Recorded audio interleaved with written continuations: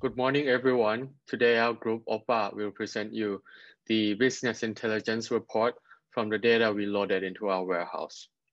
We are going to cover the brief design of our data warehouse, KPIs for the mall company, and lastly, the three dashboards that we made. Okay, let's start with our data warehouse design. We have five fact tables, which include retail transaction, receipt analysis, payment analysis, promotion analysis, and store payment. We also have nine other dimensions, which include product, store, transaction type, discount, tenant, payment type, card, date, and time. And to answer the business question, we must understand the business background. For the mall company, we dive into its key performance index or KPIs, which include sales, profit, growth, retention, and market share. This KPI will help us create the dashboard that answer the business question and thus beneficial to those who are using this dashboard. Let's start with our first dashboard. So in this dashboard is a sales summary dashboard. We can choose year and quarter to scope out the data. On top left of the page, we have the total profit and average of net sales amount, which we can call the average amount paid in each purchase or in each transaction. And following that, we have quantity of products sold by category, which in this chart, we'll be able to know the top selling category for the mall comparing between each year. And on top right of the dashboard, we have monthly total profit by store category. Also, the line in this chart represent the average profit in that month. And with this chart, the CEO will be able to know the top performing store category in the mall. Next, the bottom left chart show the net sale amount and average of net sale amount by quarter. This is an essential chart to compare how the company is doing compared to the quart quarterly average in its previous year. If it's underperforming, its different teams will need to dive down and bring back its sale amount. Similarly, on the middle bottom chart, it show net sales amount of each year by store category and this is just to compare the sales amount of each store type and how much the company gain the gross revenue from each type. Lastly, the bottom right chart, it is the scatter plot between the profit and cost of each product category. And the size of the dot represents the quantity sold of each category. And this also have the play axis where you can see how it changes between each year.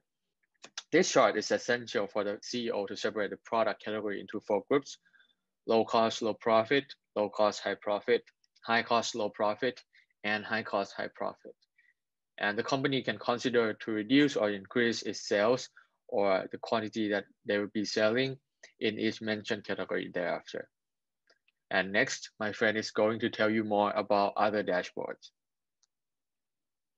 For this dashboard, we show the summary data of the payment. At the card, we show the total of customer and the next is slicers are used to show the specific data of this dashboard according to year and quarter. For discount total amount and total profit dashboard. In this dashboard, the data show about the total discount amount and total profit considered by category type. We use to categorize data by category level 2 because the data is more common than the other product level. As marketing team and production team, they can know which product type can make profit or loss to the company. It makes them easier to make the decision of the product. For example, main fashion and lifestyle category level are the two main types that make income to the company, while food and beverage level product can make the less income to the company. Next, earn point dashboard. The earn point dashboard show the point that collected by different type of customer card. Marketing team can use this data to analyze the new launching promotion. As we can see, most of the earn point come from AM Asia card member type. So company able to know that this customer have high potential to buy the product. Or company can know that some card type are not necessary since there are no impact to the company such as PM Ratchaprukh or AM Tourist Card. Net sale amount dashboard. This dashboard shows the total sale amount considered by card name. The data is generated for marketing team. because they can an analyze which member type have the highest sale in the company. There are a link between earn and net sale amount dashboard.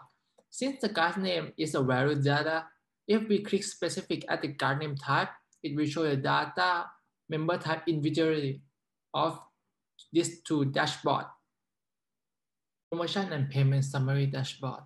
There are three cards show the summary of total discount, number of promotion uses, discount key. These all three cards can track the customer activities. The slicer is used to show the specific category of the store, so inspector can understand the dashboard easily. In this, in this dashboard, consider with number promotion uses dashboard. The dashboard show the use promotion categorized by store name and discount name. Not only marketing team can use this dashboard to analyze the promotion to see what which promotion is work or not work for the future use. Retail team can also inspect the activity flow of each custom each store too, because the number of discount code can be referred to the number of customers that come to buy the product at the store. The next dashboard is number of purchase dashboard. This dashboard shows the percentage of purchase number related to store name and payment type. Retail team can analyze the payment type of customer and in each specific store. Nowadays, there are many ways of for products. So if the company knows which type is the most customer prefer and reduce the payment problem, the customer satisfaction will be higher and it will help to create good customer relationship. So next is customer segment dashboard. The slicers are used to categorize data in the store category and area to show the specific data. The chart shows the different data of net sale amount, which categorized with different data consists of market status, birth year, gender, retail type, and state. Marketing team can use this dashboard to analyze the customer information and select to do marketing in a specific group of customer. When click at the specific data, which is market status, birth year, gender, retail type, or the state, it will show, it will link to the other graph to show that specific data. So it is easily for user to inspect the overall data. So the last one is map dashboard.